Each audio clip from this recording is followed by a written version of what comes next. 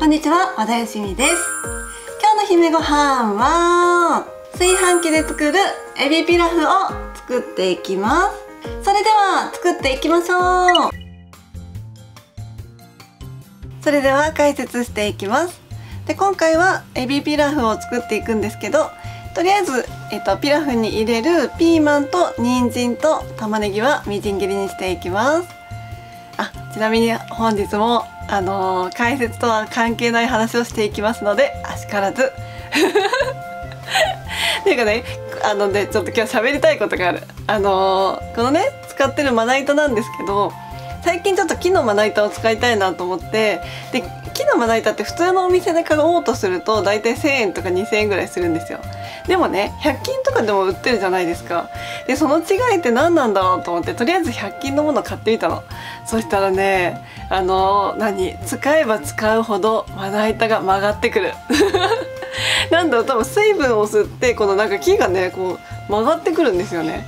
なんであのー、このね特にこの玉ねぎみじん切りする時に分かりやすいんですけど一応まな板の下になんか布巾みたいなのは引いてるんだけどすごくねこう歪んでるからねグラグラするんですよ。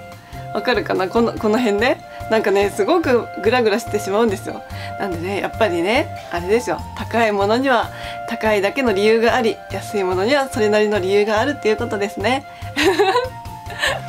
あそうあとはいここはちゃんと喋りたい。あのねあのーエビエビピラフだからエビを入れるんですけどあのエビってね加熱をしすぎるとどうしてもパサパサになりやすくってあんまり美味しくなくなってしまうんですよ。なのでとりあえずエビは最初に火を通してあげてから一番最後にピラフに混ぜ込むような感じになります。でねピーマンも一応そうすればよかったかなと思ったんですけどピーマンもねあの加熱しすぎるとちょっと色悪くなってしまうんですよ。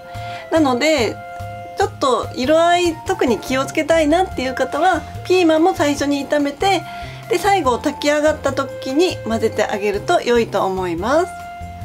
はい。であのー、まあフライパンのまんまご飯炊いてあげてもいいんですけどまあ炊飯器の方がね便利なので炊飯器で炊いてあげてで炊き上がったところに最後エビを乗せてあげてでまあちょっとエビ温めるような感じとあとご飯のね水分を軽く抜いてあげるためにも10分間保温してあげてあとは最後パセリを散らしていきます。パセリもね、まあ、ドライパセリ使ってあげてもいいんですけど、まあ、生のパセリをねのせてあげた方が色合いも綺麗に仕上がるので生のパセリをのせてあげます。はい。ということでパセリを散らして完成です。できました。では味見していきます。ではいただきます。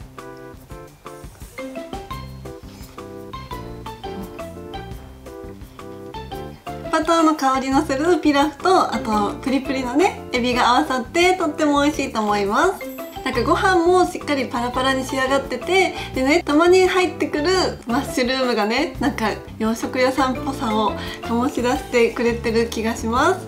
でねこれだけでもねもちろんすごく美味しいんですよ。なんですけど本日もねトッピングを用意しております。えー、以前も登場したこちらハインツの1人分のホワイトソース。あちょっとだけホワイトソースっていう名前ね。そうやっぱりねあのホワイトソースかけたら絶対美味しいじゃないですか。ということではい本日もあの温めてきましたのでこれかけていきたいと思います。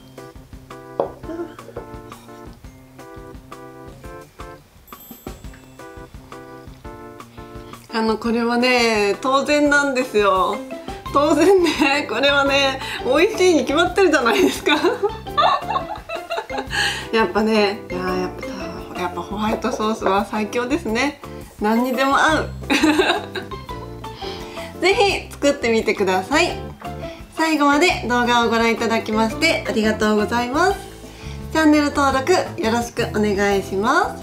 そして姫ごはんの公式 LINE アットが始まりました。今だけご登録の方に DVD の限定レシピであるフラワーボックスちらし寿司イベントの作り方動画をプレゼントしております。詳しくはコメント欄にリンクを載せておきますのでぜひぜひご登録いただけると嬉しいです。それではまたお会いしましょう。さようなら。やこれねそのままでもね食べてもねもちろん美味しいですよ。そのままで食べても美味しいけどやっぱホワイトソースかかると最強ですね。う ん